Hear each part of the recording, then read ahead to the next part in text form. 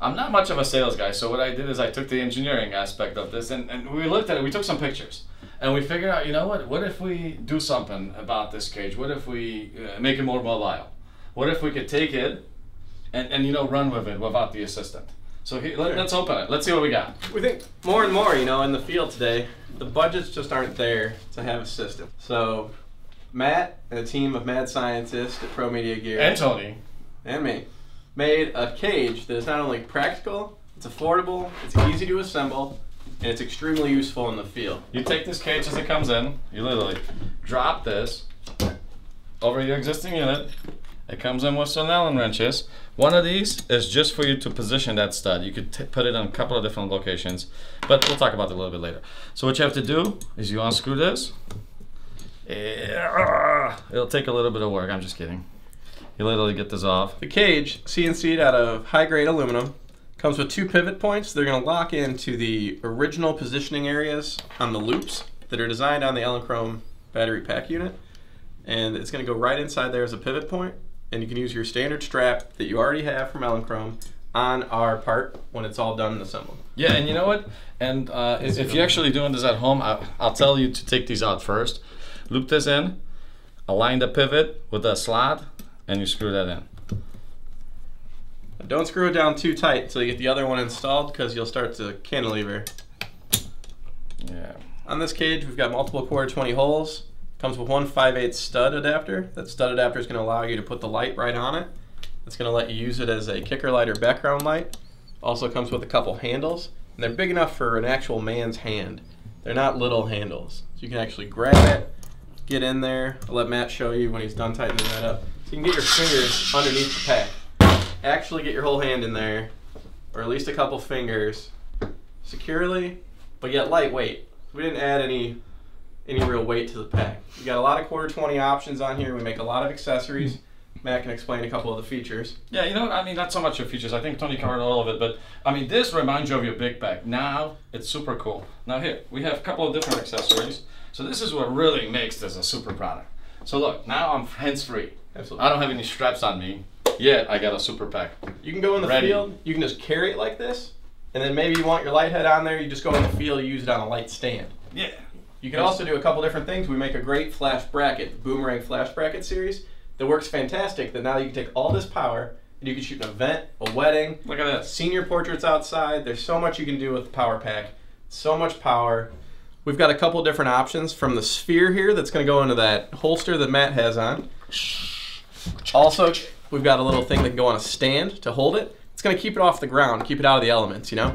Um, also, you've got a couple other rigid mounts. You get more of the stand adapter top mounts for the uh, light. And you've also, because of this cage, can quickly and easily take that battery pack off and change it while you're in the field. Quickly and easily, and still never really get it dirty. You don't want to have to go ahead and lay that down in the wet grass, and the mud, and the dirt. This pack is portable. It's extremely affordable. You're going to take it on longer hikes. You're going to be able to take it in some situations where you want to kick ass, a lot of power. All right, guys, we're out here just behind our shop. We got some nice trees. We've got a model with us today. We're going to show you a couple scenarios how two professional photographers can have two totally different setups and perceived value of photography. In this corner, I'm going to have a nice camera. I'm going to have my D750. I'm to have my Elinchrom pack, and that's it. We're just to kind of show you that, like, what gear a normal professional might have and kind of the struggles that somebody might fall into. And also you get that perception of value where you walk into a client, I'm a professional, I'm extremely creative, and I walk in, the first thing somebody says is, oh, that's a great camera. I've got that camera too. I love taking pictures of my kids with it. You look at their photos, they still stink, but they have this perception that what they're paying you isn't worth it because of the quality of the gear that you're holding. Um, Matt over here, he's going to explain a little bit about what he's rocking. Well, you know what? I- I'm all about gear. So uh, uh, you, you maybe not know me, but uh, to me, the first impression is super important. So uh, when people see me and see my gear first, that's how they're gonna judge me.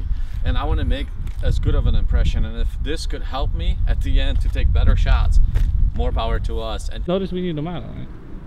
What are Go ahead. one? Like, where are we gonna get a model in front of our shop?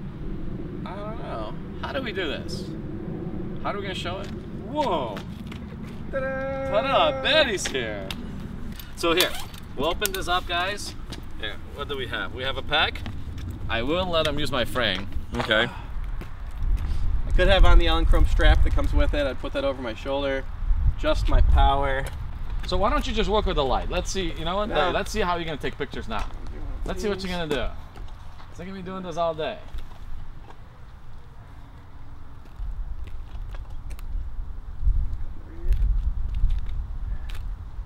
So here's what I can do.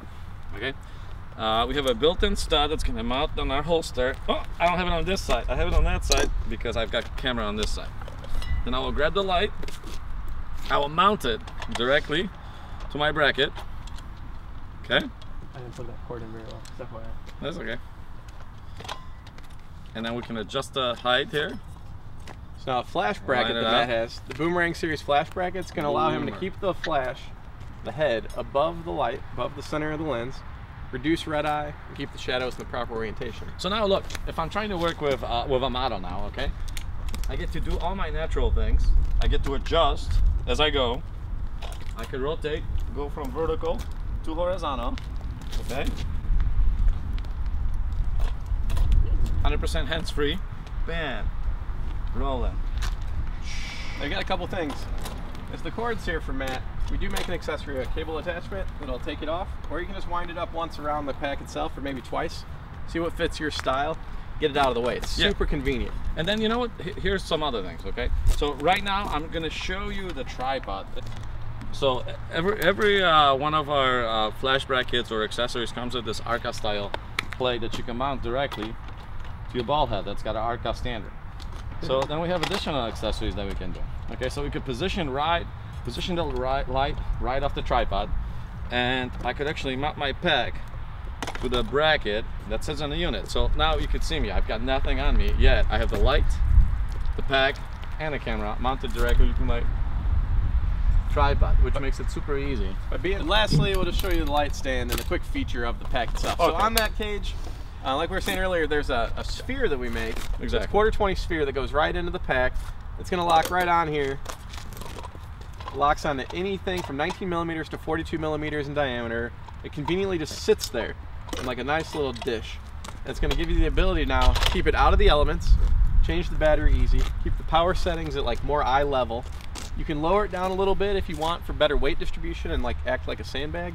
But now you've got a, just a quick package that I can easily grab this and I can just Yeah. walk in the field with and manipulate for my model. And then when I'm ready, I just go ahead and lock it back down, aim my light, tighten this up, and I'm ready to go. Um, we do make a rigid mount too, if you want to do more of like a lollipop setup, and you don't want it to accidentally come off. This is for the quick grab and go Exactly. shooter. Yeah. So here's what you can do: is you can literally take the light and use the frame by itself. And let's say I want to light up uh, our model here. Betty, thank you for uh, standing in here beautifully. So here, I could adjust it to any position. You could, if you had an assistant, have them even hold it. So you're getting all that power in something easily portable and affordable way to, to just keep it all together. Let's wrap this baby up. Enough of the shenanigans. I mean, the whole time I was shooting, I was on P for Professional, rocking the high quality Elinchrom gear today, just trying to show you guys some pros and cons of our equipment, how to use it. Um, what Matt was using today, we're just going to recap, show you a little bit. On here, we're showing our rigid mount on the cage. This rigid mount will stay on and lock onto a tube, 19 millimeters to 42 millimeters, and not come off without using the quick disconnect on the quarter 20 here. This is a great accessory if you want to like do a lollipop setup onto a monopod. The other one Matt's holding, you got the sphere, just sits in like a little dish. Also 19 millimeters to 42 millimeters. Awesome accessory to hook onto a light stand or table leg. You also got the holster here. Holster is going to take the sphere ball, drop it right in, rock the pack. Now you don't have a strap or anything. You're just using the uh, the harness there, the holder. On here we've got our modular bracket plate. It's going to go on your camera. It's an Arca Swiss compatible plate. It stays on. We've got accessories like the boomerang flash bracket that's Matt's rocking here. The boomerang is going to come with a little kickstand you can put on a table. It's also got the ability then to come off quickly and cleanly. It's got the ability to snap into a locking detent, go to vertical to horizontal with ease. It also looks awesome. It's made out of high grade aluminum, made in the United States. We make a series of accessories. This uh, rosette here is going to allow you to tilt the light head back. It's going to really help with finger fatigue and just give you like a lot longer shooting possibilities without fatigue. Um, without that, you can use it. You just get the little 5/8 stud that holds the light We also make a five inch tall one that's going to allow you to use some soft boxes and light modifiers. Rocking our newest strap here, the SS2. The strap's going to allow you to go ahead and lock it into our plates. It's got hardened steel adapter Hands rings. free, guys. Hands, free. free. Free. And I think you know what? Sorry to interrupt Oh, you, but. I think that's what we were trying to push. That whole idea of Convenience. let's move it, Yeah. convenience. You know, let's let, let's run around. Let's forget these Practical. extra. Exactly. Practical. So now what's great on this And that's probably like the five seconds that I let you speak for so long. I'm sorry, guys. Thanks, no. I hate talking.